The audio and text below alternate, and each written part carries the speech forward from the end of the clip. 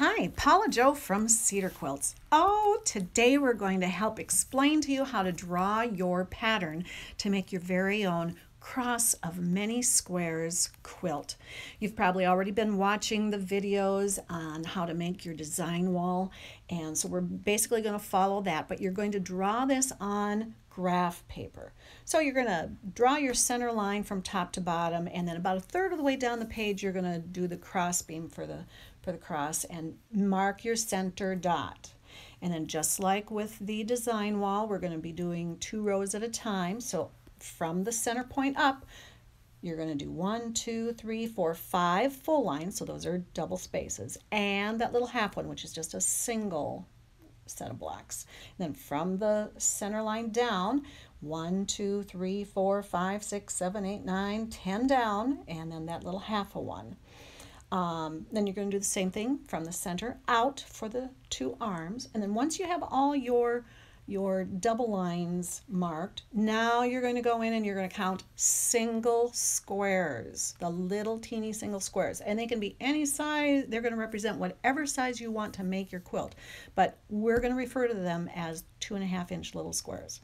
So we're going to start from the top, from the center of the cross. We're going to go up one, two, three, four, five. From the center down, we're going to go 1, 2, 3, 4, 5, 6, 7, 8, 9, 10, 11, 12, 13, 14.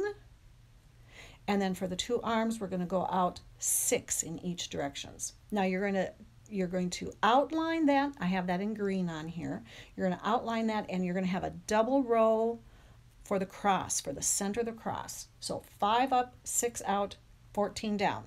That's the cross.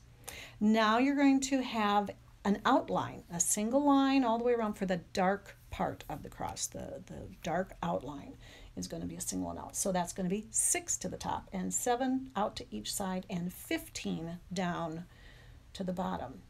And then go ahead and do an outline of that again. I have that in purple.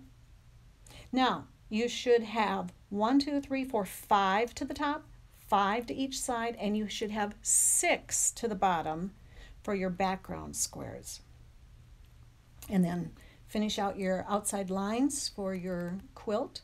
So you're going to be needing 24 squares across and 32 squares top to bottom.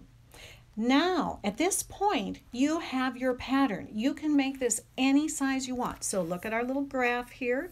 And if you start with two and a half inch squares, they're each going to finish up at two, and so on and so on. You can make it bigger, you can make it smaller, you can make it 10 inch squares if you want and hang it on the side of the building on the outside of the church.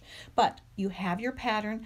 Now you can decide what size batting design wall you want to mark it on and you can make it any size you want. And so then you find your your fabric and you make your cross and you make your outline you put your swooshes of color in you add your fabric and eventually you have them all on there. Take a couple of photos look at it in black and white and whatnot so that you can see how your light and dark and medium colors are on there and eventually you sew it all together and then you quilt it. You put your borders on there and do all your fancy stitching and oh you're gonna love it.